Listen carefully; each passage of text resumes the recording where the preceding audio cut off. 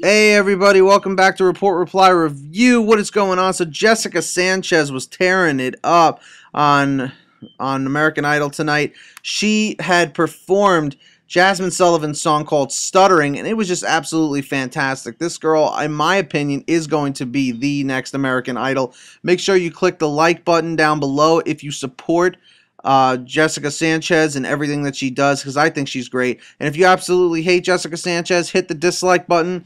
Uh, and don't forget to leave your thoughts in the comments section. And please do not forget to subscribe to Report Reply Review. It takes only a second. Thanks so much for watching.